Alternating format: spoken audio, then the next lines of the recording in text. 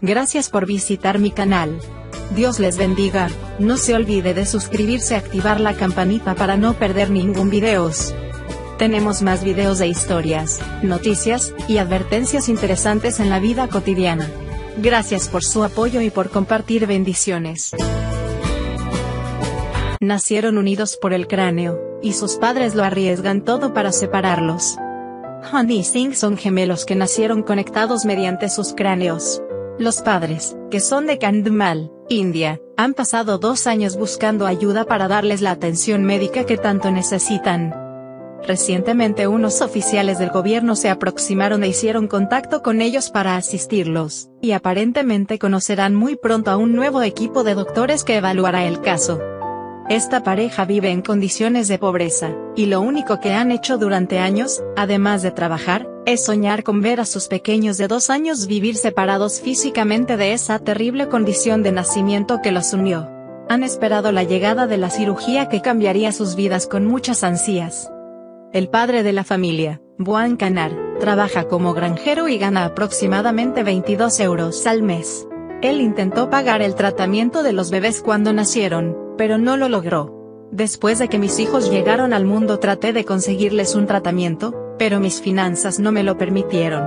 Al final perdí la esperanza y fui forzado a verlos crecer con esa condición durante dos años, contó. Pushpanjali Kanar tiene 25 años, ella estaba en completo estado de shock cuando dio a los dos bebés fusionados por la cabeza. Todo ocurrió en un hospital de la localidad del este de la India en marzo de 2015. La pobre no tenía idea de las complicaciones del embarazo hasta que lo vio con sus propios ojos. Han y Singh estaban conectados mediante el cráneo. Los exámenes posteriores confirmaron que cada uno tenía un cerebro, así que tan solo estaban unidos por la superficie de sus cabezas. Después de dos años de desesperación intentando buscar un médico accesible que los ayude no tuvieron resultados.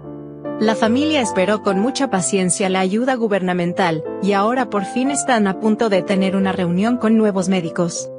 Reconocimos que los gemelos padecen de craneopagus ya que tienen dos cerebros separados pero están fusionados mediante el cráneo, dijo el doctor Swapneshwar Nayak. También aseguró que ha habido cirugías exitosas en casos como ese, pero por el contrario, cuando los cerebros están unidos es muy difícil, este caso necesita evaluación, tenemos que confirmar si la cirugía es posible. La pareja tiene otros dos hijos, Ajit, de 9 años y Daquilla, de 6.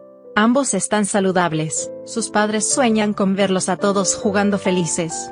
Quiero que Honey y Singh sean como sus hermanos mayores. Que vayan a la escuela y vivan individualmente. Ellos apenas pueden hablar pero sé que puede irles mucho mejor, dijo Pushpanjali. Los padres de esos niños sueñan con recibir la noticia de que la cirugía es posible. La operación es compleja y los riesgos son altos, pero es un riesgo que ellos quieren correr porque anhelan ver a sus hijos ser felices. Rezamos por esa familia y esperamos que Honey y Singh puedan operarse y lograr tener la vida que Pushpanjali y Buan tanto sueñan. Fuerza. Te invitamos a compartir esta historia con todos tus conocidos, esperamos que pronto pueden tener la vida que merecen. Gracias por su tiempo y atención. Si tienes preguntas o dudas acerca de este video, puedes dejarnos sus comentarios. Gracias por compartir este video. Muchas bendiciones.